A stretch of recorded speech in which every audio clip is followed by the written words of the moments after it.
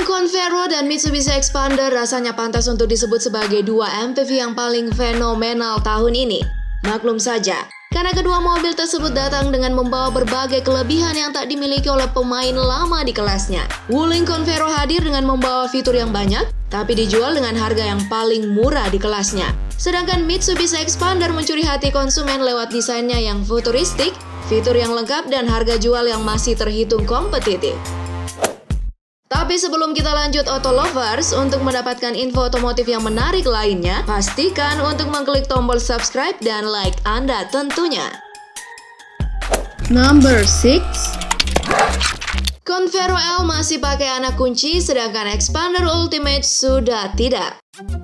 Wuling Convero L punya anak kunci berteknologi immobilizer dengan model lipat. Expander Ultimate tidak punya itu karena ia sudah dibekali dengan keyless entry dan start-stop engine button. Mitsubishi boleh berbangga diri karena Expander adalah pelopor di kelasnya yang memiliki sepasang fitur tersebut.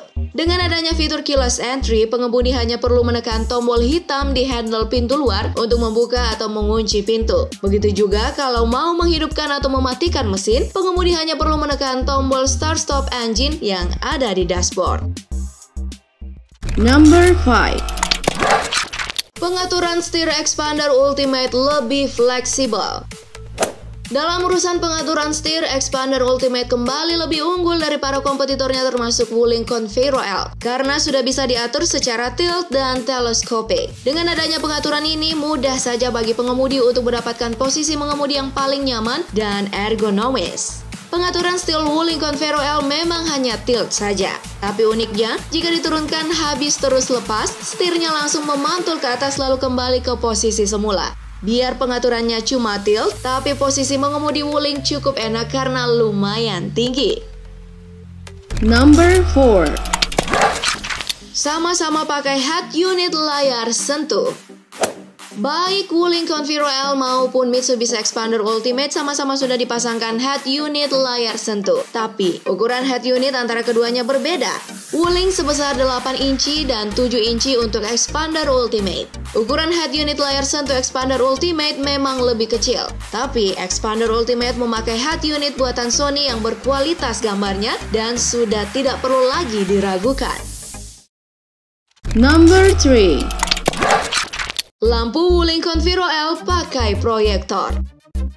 Karena desain lampu DRL-nya yang keren dan futuristik, mungkin banyak orang yang akhirnya lupa kalau sebenarnya lampu utama Mitsubishi Expander Ultimate masih memakai halogen biasa. Pada poin ini, Wuling Conviro kembali unggul karena lampu utamanya sudah memakai proyektor. Lampu DRL, Wuling Converno L juga punya. Lampunya terletak persis di bawah fog lamp.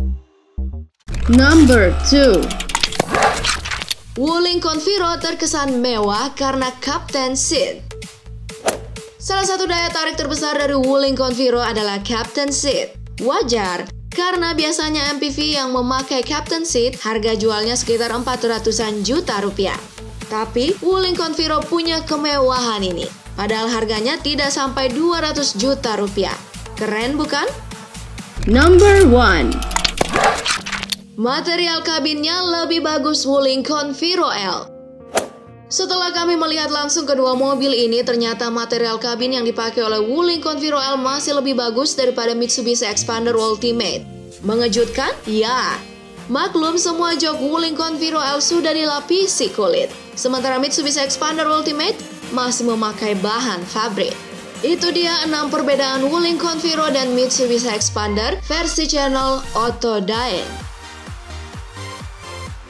Terima kasih sudah menonton. Jangan lupa klik tombol subscribe di bawah video ini guys. Like and share video ini ke teman-teman otomaniac Anda. Dan satu lagi guys, nggak ada ruginya untuk mengaktifkan lonceng notifikasi kalian agar bisa mendapatkan video terbaru dari kami. Jangan lupa tinggalkan opini Anda agar kita dapat selalu berbagi informasi yang bermanfaat. Oke, okay, see you on next video.